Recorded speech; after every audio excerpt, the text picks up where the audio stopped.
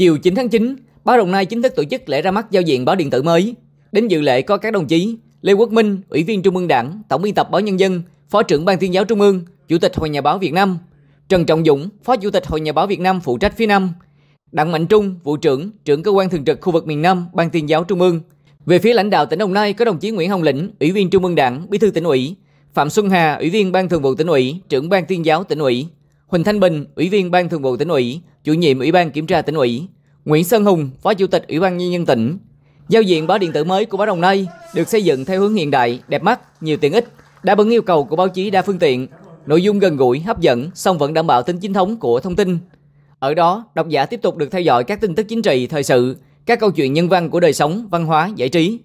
Báo Đồng Nai đã tập trung đầu tư chuyên mục media với mục tiêu cung cấp cho bạn đọc nhiều thông tin, tương tác cao dưới dạng podcast, video, mega story, infographic, phóng sự ảnh.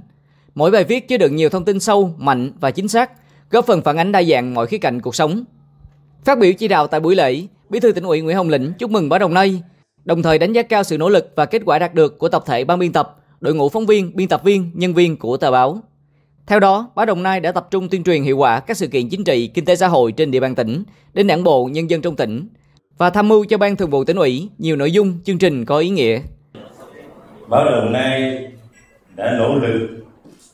thay đổi hình thức, nâng cao chất lượng nội dung và tăng lượng phát hành báo chí đến nhân dân và cán bộ đảng viên trong toàn tỉnh. Sự nhanh nhạy, kịp thời và chính xác của các thông tin trên báo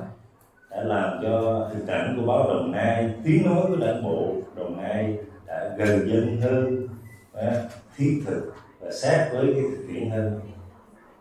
Với trụ sở mới vừa được xây dựng khang trang và giao diện báo điện tử vừa được ra mắt, Bí thư tỉnh ủy Nguyễn Hồng Lĩnh tin tưởng tập thể báo Đồng Nai sẽ tiếp tục nỗ lực phát huy tinh thần, trách nhiệm để đồng hành cùng sự phát triển vững chắc của quê hương Đồng Nai và đạt được những tầm cao mới trong sự nghiệp báo chí.